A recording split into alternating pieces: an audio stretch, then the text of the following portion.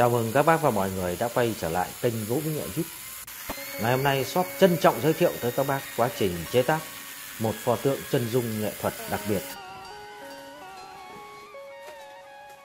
Về tượng chân dung truyền thần thì shop đã có kinh nghiệm trong việc chuyển thể từ ảnh chân dung sang tượng gỗ cho hàng trăm khách hàng khắp cả nước, với hàng trăm bức tượng từ các chất liệu gỗ khác nhau theo yêu cầu. Nhưng với pho tượng chân dung lần này quả thật không hề đơn giản. Người mà chúng tôi đang nói đến chính là danh ca huyền thoại Phi Nhung, một trong những nghệ sĩ được chúng ta rất yêu mến. Chị đã ra đi mãi mãi, để lại cho đời những bài ca, những vai diễn bất hủ.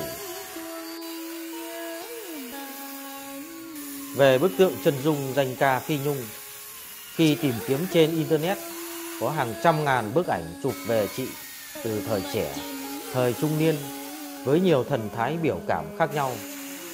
Sau khi cân nhắc và lựa chọn, chúng tôi quyết định chọn một số bức ảnh chụp chị thời trẻ cùng với việc kết hợp một số bức ảnh chụp chị thời trung niên để chuyển thể sang tượng gỗ. Với mục tiêu là vừa thể hiện được thần thái nét đẹp của chị, vừa thể hiện được đây là một tác phẩm nghệ thuật và không theo khuôn mẫu các pho tượng chân dung đã làm.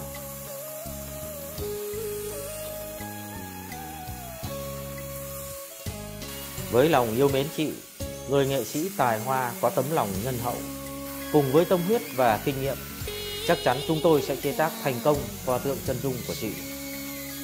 Xin mời các bác và mọi người cùng theo dõi quá trình chế tác.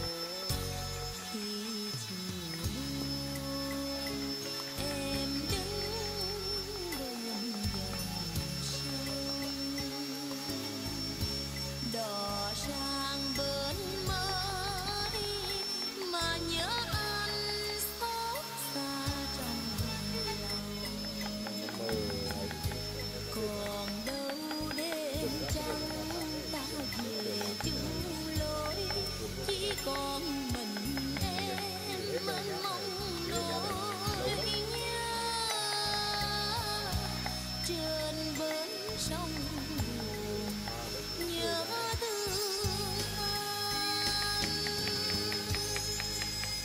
Tiếng